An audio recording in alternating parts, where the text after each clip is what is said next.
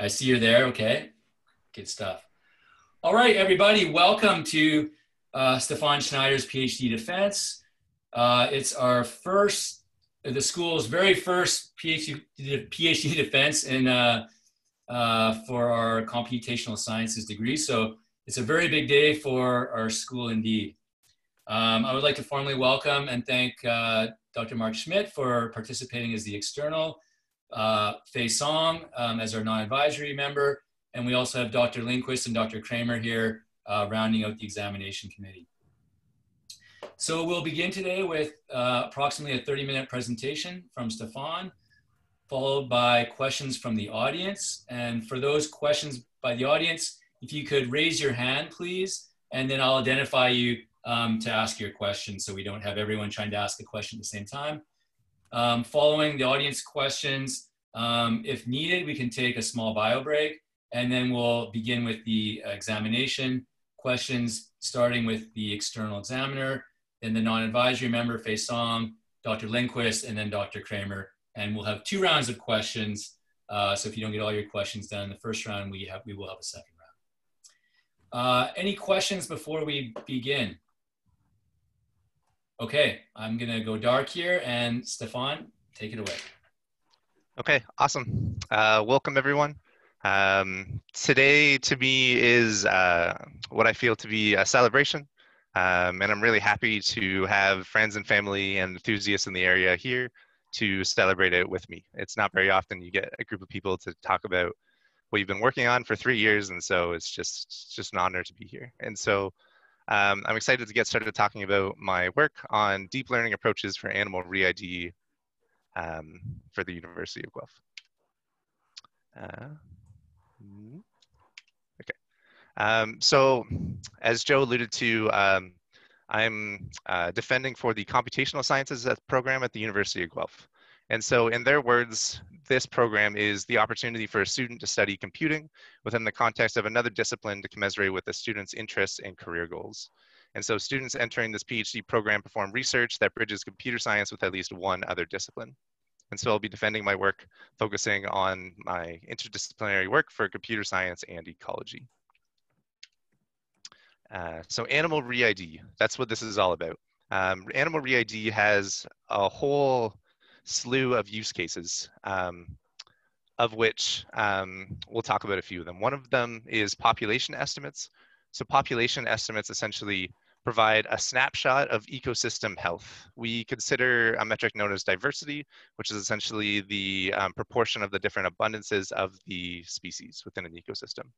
And this gives us insight into the trends of trophic interactions and overall population dynamics.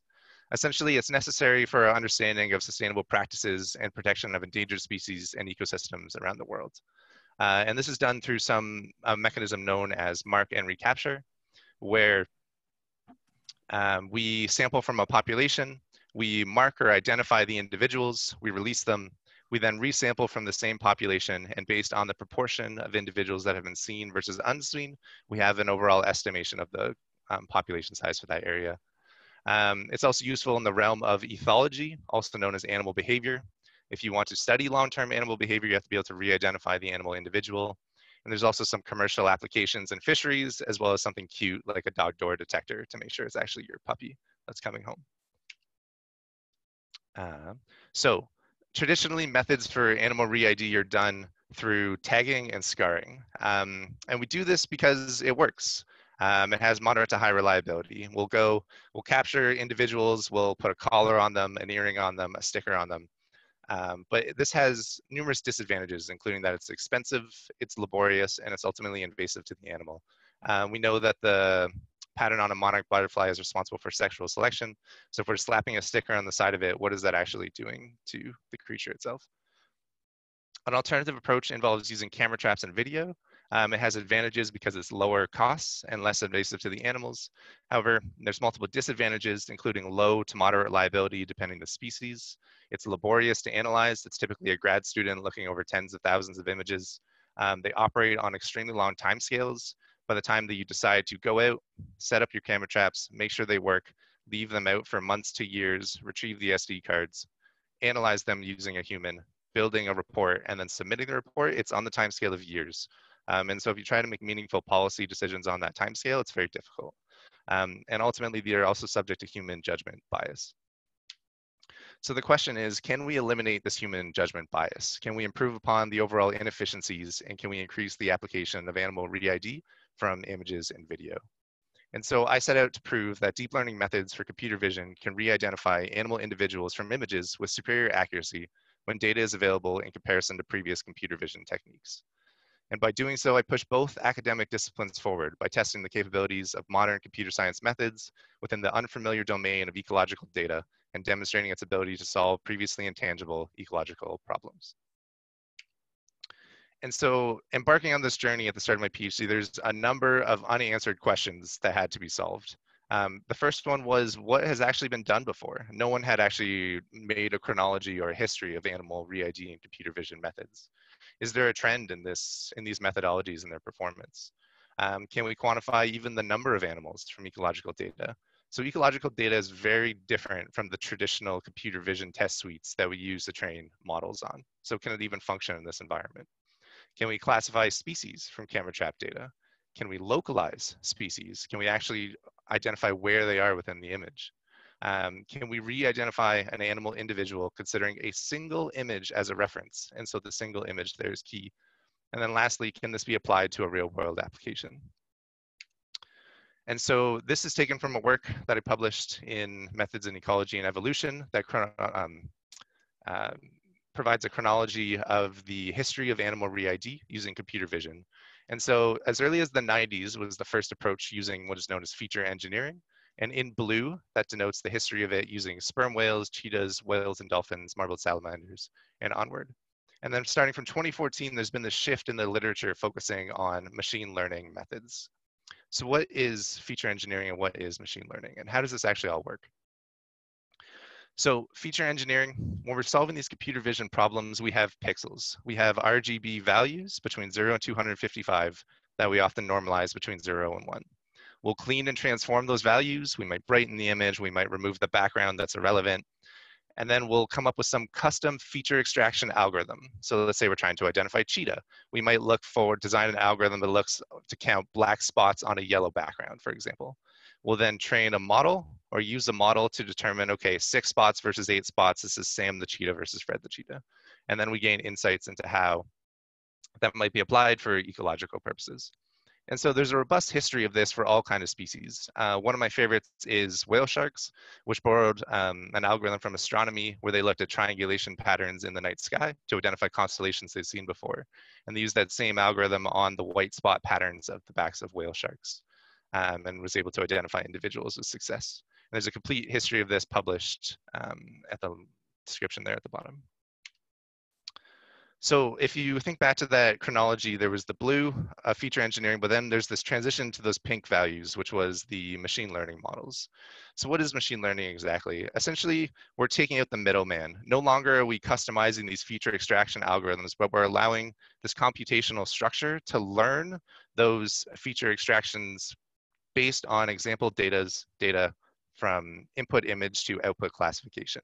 So in the case of individual re-ID, we would have pixel values here coming in. We then pass it through the network structures, which are a series of weights that correspond to activation values that then are into our output classification of individual. And so we're no longer hard coding these feature extraction algorithms, but allowing the system to learn through large amounts of data. Um, yeah. So um, since we're specifically focusing on computer vision, uh, there's been an evolution in the architectures known as convolutional neural networks, which allow us to look at the spatial similarity within an image. You can imagine there's little sliding windows that go across the image that garner information from a surrounding area. And this allows us to look at collections of lines and edges and colors. And so these networks are in layers. And so from collections of lines and edges of colors, you can then look at collections of those that make the shapes of ears and noses and eyes. And then the collection of noses, ears, and eyes can give you insight into what the individual might look like. So this replaces the feature um, engineered approach, if successful. Um, so CNNs dominate um, the computer vision problem. In 2012, Krizhevsky released uh, a paper using CNNs on the ImageNet dataset, which has tens of millions of images in 10,000 plus classifications, and they had a 7% increase in accuracy over the previous best. This is a generational improvement. Um, and ever since then, um, CNNs have dominated the computer vision literature. Um, now, CNNs are conditioned on returning one classification for a given image. So if there's Sam the cheetah there, great. There's Fred the cheetah there, great. But if there's both Sam and Fred at the same time, the system will get confused. Um, and so a way around this is uh, methods known as object detection, which allow us to localize objects within an image. And there's multiple methods for this, including YOLO, um, single shot detection, and faster RCNN. So this goes back to our question. We were interested in can we quantify animal numbers from ecological data? And so we're going to be using convolutional neural networks to do this. And so we have a domain, and this is sonar images off the back of a trolling boat in the Amazon River. And so the question is, can we count the number of fish and the number of dolphin? And so this is a relevant ecological question. It's relevant to fisheries. Um, there's scientific questions about fish populations relative to shade um, it seems like 10 years ago at this point, but last year, one of the main stories of the year was that the Amazon rainforest was on fire. So how that actually relates to the fish and dolphin populations is an ongoing scientific question. And lastly, um, this is relevant for poaching. Um, and so we were able to successfully train a machine learning model to quantify the number of fish, which are these speckles in the sonar image, um, into an accuracy of plus or minus 2.1 fish and 0.1 dolphin per image. Uh, so how did we do this? So when I say ecological data is atypical, um, there's perhaps not a better example than this data set. Uh, this data set had 143 total images. Um, when you're training deep learning models, they're in the scope of tens of thousands to millions to no exaggeration, billions of images. And so when you're trying to use this computational tool in this domain, you have to be creative. And so one of the ways that we tackled this problem was uh, dividing the data into a 15, 85% train test split, taking those 15% images, which is 20 images, breaking them down into their components, which was the background, the individual fish and the dolphins, and then providing image augmentation to recreate synthetic images using those components. And so we can actually map how synthetic data improves performance. And so considering fish, if you have no synthetic data, the, the model is unreliable. 143 images is, is just not enough. Um, and so as we increased our synthetic data, we can actually map how the fish, um, the mean squared error for the fish um, abundance improved. And the same with dolphins. Uh, at no synthetic images, just totally unreliable, but then around 5,000 images, it caps at the 0.01 error. So we can count. This is great. Uh, so the question is, can we classify species from camera trap data? And so this involved a partnership with Parks Canada and the University of Calgary, an individual named Saul Greenberg, um, who is the um, lead programmer on an annotation tool known as Timelapse for camera trap images. And so we had 89,600 images of 55 classifications from 36 locations.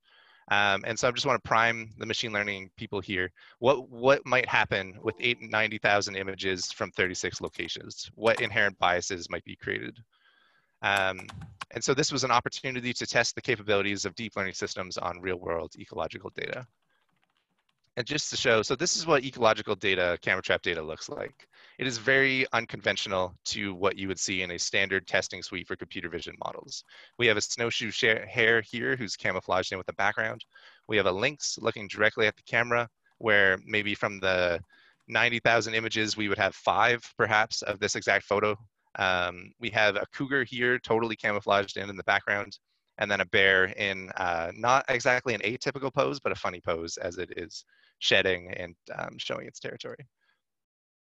So this is um, what a breakdown of an ecological data set looks like. And this is a problem for multiple reasons. Uh, the first is inherent class imbalance. Essentially, if you would just train a model to best um, predict what species is within the images, it would be biased to select from these like seven most dominant classes, which include elk, grizzly bear, no animal, mule deer, snowshoe hare, deer, and wolf.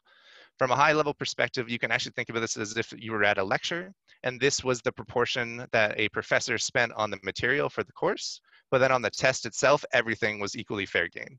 How would you feel in trying to memorize everything that way or learn everything that way? Um, the behavior is similar. From an ecological perspective, this is also a problem because the species that we care about are often those that are underrepresented, such as a bobcat here. This is, these are the species that are endangered. These are the species that are rare. These are the ones that we're interested in to make sure that we quantify them correctly. So we have to be able to solve this problem. And so one of the methodologies that I introduced in this Parks Canada paper was a novel ratio selection technique, where essentially every class is given a proportion relative to the max number of the class um, max number of images for the um, largest class. And then there's a lottery essentially where Uh, for each. Excuse me, Stefan? Yeah. Stefan, sorry, can you hear me? Yeah. I can't hear anything that you've said for about the last two minutes or maybe more. I don't know what's happening. Can you indicate if you can hear me, please? Wave or something? Oh, yeah, you can hear me. I can see you, but the sound just dropped out about two or three slides ago, and I've been trying to figure out what's wrong. Um, and I have no idea what it Can- might can you be, hear but I can't hear you. So Can you hear me? do you have any way of troubleshooting this? I'm really sorry to interrupt you, but I would like to hear your presentation. Oh shit. Um, everyone can hear me, right? Except for him? Just to confirm. Yeah, we can hear you. Okay. Um, May I suggest you phone in on one of the so on the phone numbers? You can e- if you need to, you can send me an email if you need to send me a message because I can't hear a thing that you're saying. Just so you know. Maybe he should sign out and sign back Um, in. I'll send him an email here as well. I don't know what it could possibly be. Okay, great. Everyone else can hear. It must be something on his end.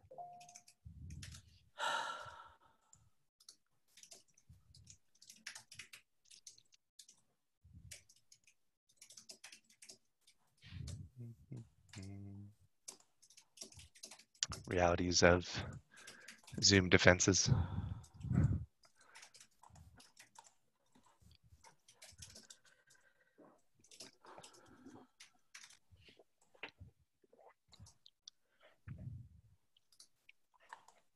Uh, Joe, should I go back two, three slides, or what do you think? I, I think you can probably proceed, given that he's your uh, on your advisory committee. Um, Yeah. Being mindful. Sign out, then back in. Connect via the phone. Okay, I'm gonna try and do that. Uh, I'm gonna have to move my physical location. So keep, Stefan, you keep going. I have seen some of this before, and um, I'll do what I can. Uh, I guess I leave that up to you, Joe. What do you? Okay. I'm just I just wanted to send him the uh, phone details here really quickly again, so he has them right and easy. Okay, so I think um, being your advisor, he's comfortable with your presentation. So I think um, the presentation is really more for the audience members and the, the remainder of the examination committee. I, I suggest we continue with the defense and then or with the presentation and then loop back in after your, your presentation's done. Okay, sounds good. Um, yeah, so we have this problem of class imbalance when working with ecological data. And so I introduced a novel ratio selection technique, which essentially looks at the proportion of the different classes and selects those that are underrepresented more frequently. Um, when those are selected, there's a heavier image augmentation placed on it to prevent overfitting. Um, in addition, um, what we found, so, and yeah, so our results for the model we were extremely promising. We get 96% accuracy re-identifying a species from camera trap images. This is great, celebration. Um, but we wanted to test this more thoroughly. And what happens was when we took it to different backgrounds that were not seen during training, the performance dropped dramatically um, to around 69% or 71% if you considered an ensemble of the models. And so we've essentially uh, propose that everyone reporting results in this discipline um, make sure to report both from your trained location as well as untrained location because a lot of ecological studies just report this number and people don't understand without at least having a thorough understanding of the field of machine learning that these biases can inherently exist. Um, I believe I have a solution to this problem, so ask me about it at the end because it didn't make it into my thesis, but I'm excited to talk about it. Um, we also provide uh, recommendations for ecologists for how, when they use deep learning systems, the performance might correspond to the number of images they provide, including 500 images, 750, and 1,000 being respective to 75, 87, and 97% accuracy. Uh, we can plot this where we have the mean number of images represented of the recall, which you can consider accuracy, um, where it's highly volatile, at the low image space, but as you get around to a thousand images, we kind of um, maintain at around 97% accuracy. Okay, great. So we can classify um, species from images. So the question is for re-ID, we actually want to be able to crop the individual out of the image. If you have just this whole image, there's a whole lot of noise. It becomes very difficult to re-identify a gazelle here, considering that there's six in this image. So we need to get this gazelle directly out of the image. And so one of the ways to do this is using object detection, which I talked about previously, um, which involves two techniques known as faster RCNN or YOLO, which is a form of multitask learning where we're not only outputting the result of a species, but also the X1, Y1 coordinates for the bounding box around the object of interest. In this case, it would be an animal. And so when I published a paper on this, no one had ever done this before. People were still focusing on single classification output from camera trap images, and they were doing multitask learning considering um, age and sex, but no one had actually been able to quantify multiple species within an image before.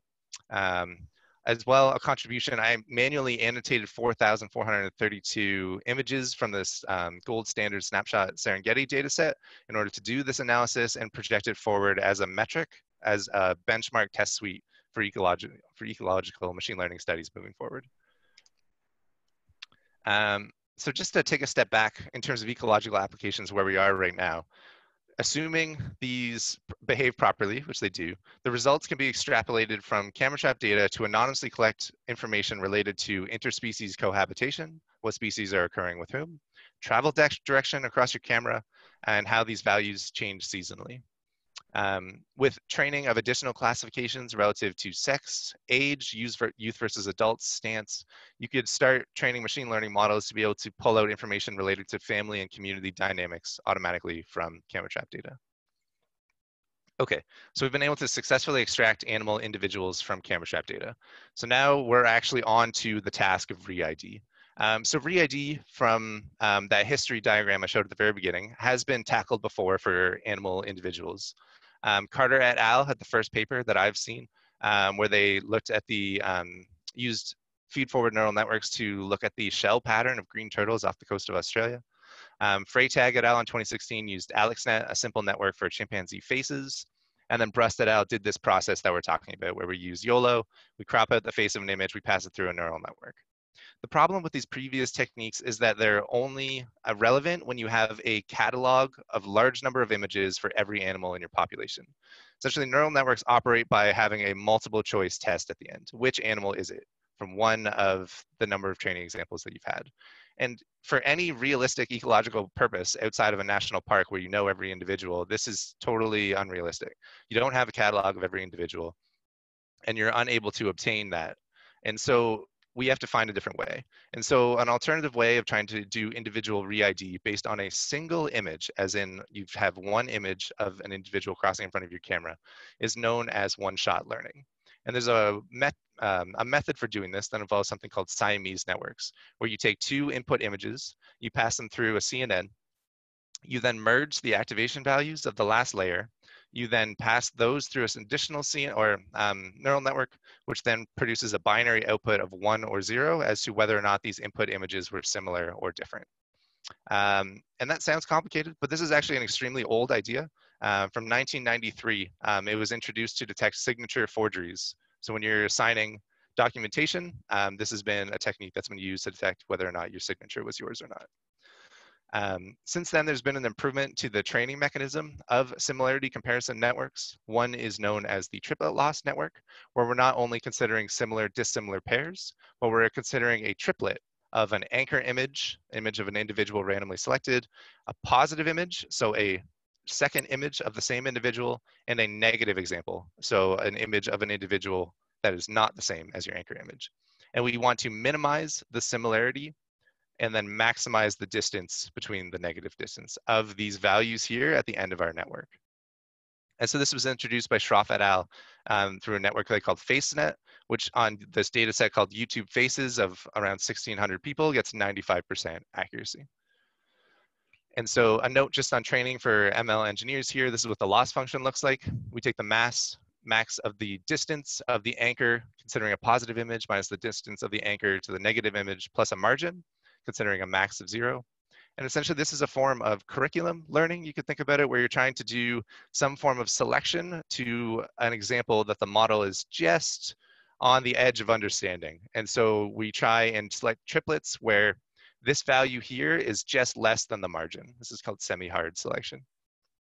And then image augmentation is used throughout and is shown to be extremely important, especially relevant to Octopus, which we'll talk about.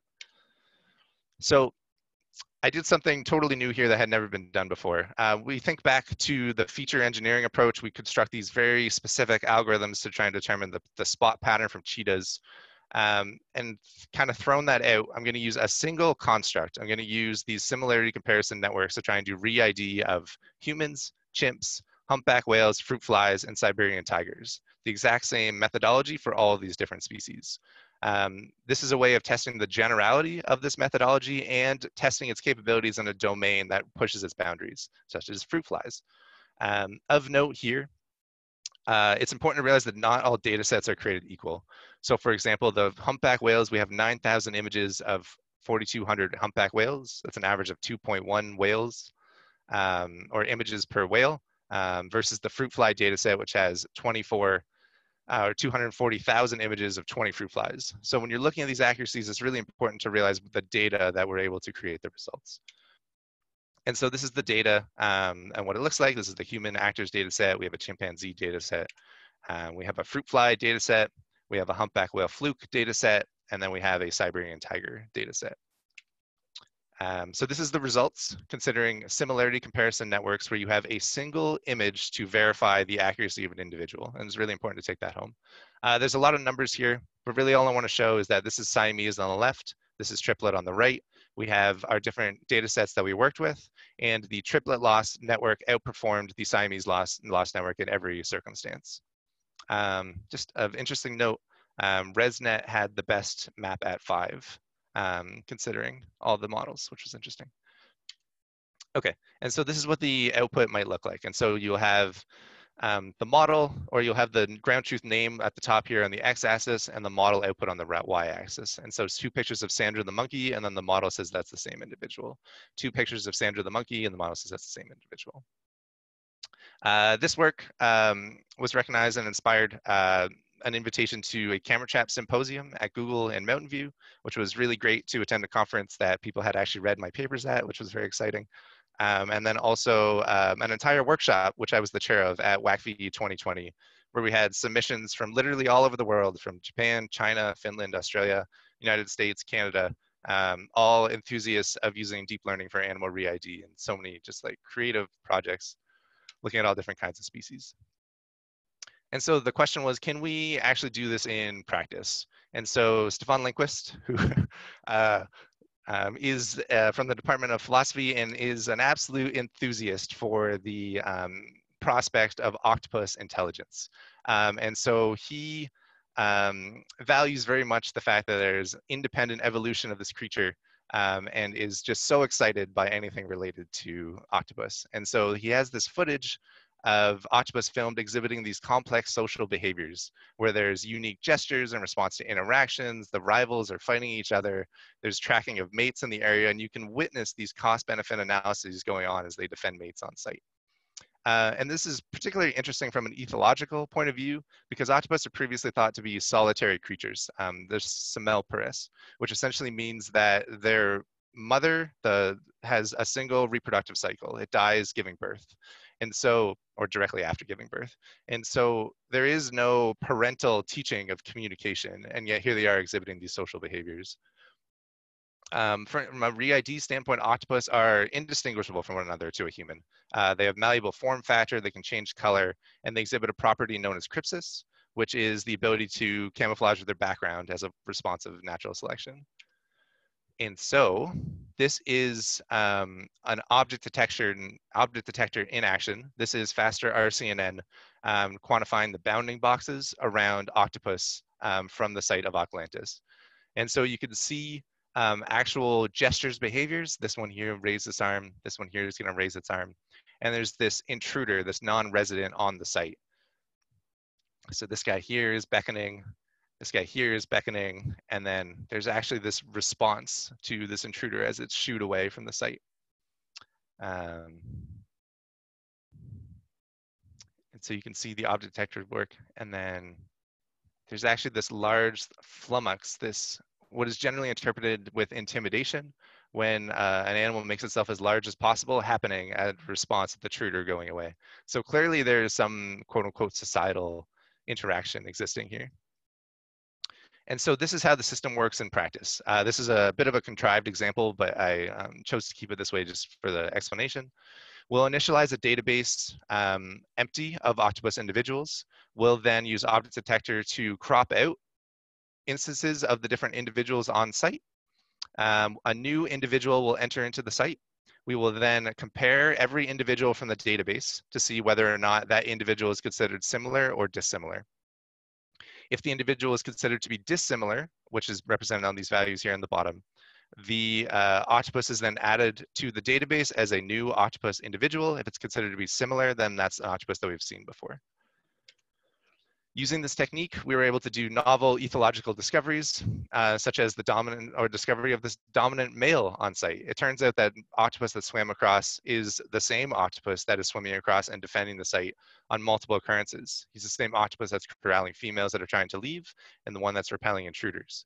We're able to identify the female specifically that it mated with throughout the length of the video. We were also able to discover that the intruders are actually repeat offenders coming in from the site from multiple sides, which is uh, um, something that was previously unthought of. And so one, one, thing we can see here is this is the number of excursions, the number of times an octopus uh, left the site. Essentially an O1, that one that we saw swim across, just dominates um, the activity on site. And so um, just to reiterate this, we can look at the Pearson correlation coefficient between O1's movement versus intruder attempts. And so movement is just movement around the site, and there's a very high correlation between O1's movement and intruders, less of a correlation with the other ones. We can consider excursions, which are when they totally leave the site and they chase someone away, and there's an extremely high correlation with intruder attempts and O1's excursions versus no correlation really between the other octopus. And then an interesting note is uh, mating attempts um, for O1 during this time has a slight negative correlation versus uh, a slight positive correlation for the other octopus on site. So when O1 was busy, um, the other octopus were a little bit more active. Um, and these are discoveries that were only made possible through my contributions to Animal Re-ID. And this is just one single case study and so there, in conclusion, there's real world problems with current animal re-ID methods. They're expensive, they're laborious, they operate on suboptimal timescales like we talked about previously. And as a result, they're just too impractical to be frequent. Uh, and so we miss information that we could be collecting. Um, my work demonstrates a new technology for any application interested in animal re-ID from images and video. Uh, and one future application of this is real-time camera traps where the analysis is done on the camera themselves and they just send the classification results of the individual or the species from the field to research labs around the world, giving you a real-time analysis of what is going on within the ecosystems of interest. Um, and so with that, I would like to give special thanks to my supervisors, uh, Stefan Kremer, Stefan Linquist, my committee, Graham Taylor, Andrew Hamilton Wright, um, Saul Greenberg, um, and Parks Canada for their involvement, Alex Zhuang, who is a high school student um, who emailed me literally one day and said, I love your work and I want to use AI to save the planet and help with conservation. And he's been just a motivating factor. And he's responsible for the entire chapter on the sonar images, collecting the data. Uh, I want to thank Sarah Beery, who's here, just because in my opinion, Sarah is the pulse of AI and conservation. And I'm just really happy to be able to call her my friend. Um, Operation Wallacea, they were um, gave the sonar data they also gave a Peru data set, um, which I didn't include in my thesis, but hopefully has some real world application. And then all my friends and family that are here today. So thank you all so very much. Thank you very much, uh, Stefan. Well done in the face of some minor adversity there. Uh, have an update for everyone. Uh, Dr. Linquist is indeed back with audio, um, which is great news. So uh, at this time, I'd like to see if there's any questions from the audience before we begin our formal examination. And if you have a question, uh, maybe just please, if you can use your hand up icon there, and then I can ask you to unmute. Uh, Noel Chalmers, you may need to unmute yourself. Howdy, am I audible? Yeah. Noel? Yep, you are. Cool. Uh, Well, thanks, Stefan. That was great.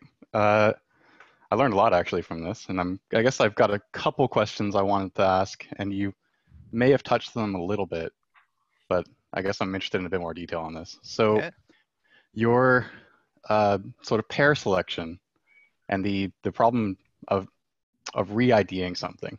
My my first instinct on that is to consider an autoencoder, um, and it seems like the pair comparison has the flavor of that, especially when considering a Euclidean distance. Um, I guess could you just expand on what is that similar to an autoencoding strategy, or is it different? And if it's different, why is the autoencoding not uh, practical here? Um, so an autoencoder will recreate the input image, right? That's kind of what the purpose of it is. I would say the similarity for an autoencoder is the fact that you're diluting the features to kind of a smaller hidden unit state at the center, where then you actually do the comparison based on those extracted features. You can think, um, so you have your massive array of pixels at the very beginning, and then you dilute it to what we would consider previously those feature extraction algorithms. And then it's based on those raw features themselves that we actually are able to do our similarity comparison predictions. Um, so an autoencoder doesn't actually do a direct comparison between two images. They're based on essentially recreating that condense feature extraction like procedure and then whatever you want to do from that state. And so traditionally it's to recreate um, your input. So for example, um, autoencoders are useful for transmitting information, for example, because then you can transmit less just those concentrated features and then reconstruct um, your input on the other side. Uh, does that answer your question? Yeah, I, I guess I was I was kind of interested in in whether it's practical to to represent a, an individual animal that's been tagged in a lower dimensional latent space. But yeah, yeah, I, I guess that is sort of what your your pairwise comparison is doing. Yeah, so when you're doing that merger, let's say the Siamese network, when you're concatenating those features, though that is the lower represented latent space. That, so you are making a comparison on that. Yeah. Cool. And if it's all right with the chair, I had a second question. Sure, quick one. Um, I was kind of interested in the computational effort that's going to be required for this. Your comment at the end concluding that, well, maybe some of the data analysis can be done sort of just in time in the sensors themselves and transmitted. So how how ex expensive is this computationally to do such a computation on, on the edge? Yeah, so it's kind of a trade-off on a whole bunch of things. It depends on the network itself, which then has the number of parameters. So there's specific networks that are designed to work on your smartphone, for example, like MobileNet, um, which is actually one that I experiment with and report a lot for this exact reason, um, because of the importance of being able to operate this on low-powered devices. Um, and so you have this performance trade-off versus computational expense versus performance. Um, and so it's kind of a decision you have to make as a researcher. What trade-off? How how long do these um, cameras operate within the wild? How frequently can someone go out and be able to replace the battery, check up on it, and stuff like that? If it's I'm going to leave it out there for years, you'd want to use the least um, power hungry model that you could, which would be something like MobileNet. If it's something that you can visit more frequently and replace, you might want something that has higher accuracy, like InceptionNet or something like that. Thank you. Okay, uh, so I see two more questions, one from Stacy Scott and one from Sarah Beery. So uh, Stacy, why don't you go first and then we'll, we'll hear from Sarah. Sure, um, this is Stacy. Uh, thank you very much, Stefan. That was a really interesting presentation. Um, I actually did my uh, PhD in computer science at Calgary and Saul Greenberg was on my advisory committee. So I was very excited to see him in this presentation. Hmm. Um, I have lots of questions, but I'll keep it to just a couple. Um, the camera trap, the Parks Canada study, we're using these camera traps. Uh, the, a lot of the images you showed were, of course, animals in different orientations, coming towards the camera, or going away from camera, going like sort of, um, you know, side to side on the camera. Are there any features of the camera traps that can help you um, identify which direction they're going in. Is there any features of these traps that, besides just snapping images, in terms of the um, motion sensors or anything like that, that can help you sort of narrow down? Or is that something that you use in, in the models to help you be more accurate in your identification? Uh, two things come to mind of this. Uh, no matter what, it's still software at the end of the day that would be determining that. So if you wanted to consider travel direction, for example, you could look at pixel dissimilarity over like five shutters in a row, and you could see, okay, there's actually been this like pixel dissimilarity pattern as this like animal moved across considering a static background. Um, in terms of just like the raw species classification, um, I did not uh, use um, the, the direction of the animal in any way, shape, or form. Um, but it is um, you can take advantage of the fact that there is a static background and actually sarah here has really good work on using just that um, so there is um, due to the niche domain of having a static camera at an image there's ways to use um, machine learning to take advantage of that considering kind of time series analysis yeah Right, that makes sense. Um, and the other question I wanted to ask was at the very beginning of your presentation, you talk about, um, you know, the old fashioned way is obviously uh, for re-identification is very labor intensive um, and it involves a lot of human judgment bias. Um, how does bias come into your models in terms of, like you said, you labeled some odd thousand number of images yourself. So where does bias come in or in what ways does bias come in that still need work within your approach? Yeah, it's a great question. Um, it's it's everywhere, to be totally honest. You you can be biased in your distribution of classes. You can be biased in the way that you're labeled. You can be biases that some images show up in bright backgrounds versus other classifications show up in dark backgrounds. It is the ongoing struggle of machine learning to create models that uh, kind of remove these inherent biases from wherever you can. Um, in terms of the labeling of the individuals that I did, that was strictly the bounding box coordinates around species. Um, so I knew what the species were and I just had to draw the boxes around them. That was not individual ID. Um, so yeah, um, we tried to, the the method I'm trying to um, propose here removes human judgment bias, but it now is subject to machine learning bias, which is now my job and the job of machine learning engineers to um, improve or mitigate or understand or at least report in whatever ways we possibly can. Great, thank you, and really nice project. Thank you very much. Yep. Okay, thanks, Stacy. Sarah. That was a great talk, Stefan. Um, sure. I want to hear your solution for the camera bias problem. You know, that's like my most passionate subject. So. Yeah, um, so it's still a work in progress, but the idea essentially takes the um, chapter two's idea of creating synthetic images from um, the sonar um, examples and applies it to um, camera traps in general. So the idea is, and I have an example here, so thank you for asking. Uh, so there's an evolution on um, faster RCNN known as mask RCNN, where we're not, uh, it's a semantic segmentation task where we're identifying the per pixel classification of individuals. And so this is an example of it on camera trap data. And so the idea is to have a whole bunch of backgrounds of just the world, literally everywhere free of animals, and take out these cropped representations and just paste them the same way that we did the sonar images where we're taking these components and resizing cheetahs and zebras and just just throwing them even random all over the place and then making the model learn on that. And ideally that should make it background agnostic entirely. Uh, TBD, TBD, TBD still working on it uh, but that is um, a next step that I think would be really cool. So we like explicitly looked at this in in that synthetic data paper that I wrote. Um, and yeah, you, you do get a huge boost in performance uh, just by really disambiguating those foreground and background pixels. So we're looking at extending the context to map to like mask RCNN, that same like sort of context-based approach for um, improving segmentations. But I don't think it's gonna fix it all the way, specifically for scenarios where you maybe only have seen an animal at one camera. Um, so you just do not have that much variety in perspectives of the animal. And so it's like, you'll really help by disambiguating background and foreground, but I don't think it's going to fix the problem where you just don't have enough variety to actually learn the species. I, would 100% agree. Yeah. Other things we maybe could do to tackle that. But yeah, I'm, I'm glad to hear we're on the same page. That's super awesome because I'm we're literally working on this right now. So yeah, awesome. really cool.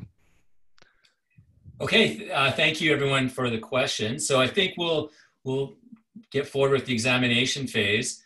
Um, first of all, uh, Dr. Song, Dr. Schmidt, uh, Dr. Linquist, if you're also there, I think it would be great if we could get the camera views of the examination committee.